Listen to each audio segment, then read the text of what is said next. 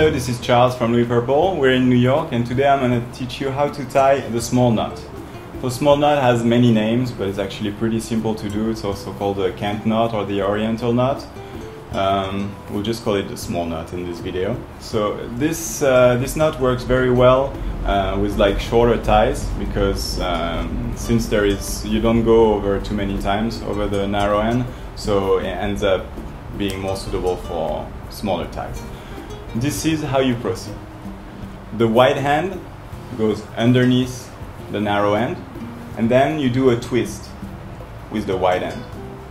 Holding it firmly with the right hand, you go over with the wide end, you pull it out underneath, you just go over like an irregular uh, tie knot, pull it down, don't tighten it too much, otherwise it's a little tricky to slide it inside the loop.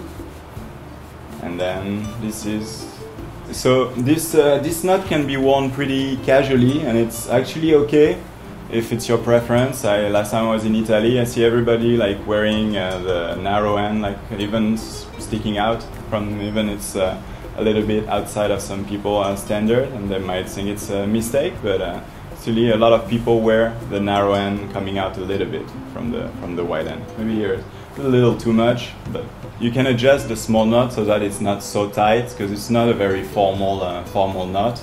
You want to kind of pull it out casually. You can even open uh, your shirt and uh, and having hanging loose like that. This is a casual way to tie your tie and uh, a very simple simple one to do. So everyone should know it.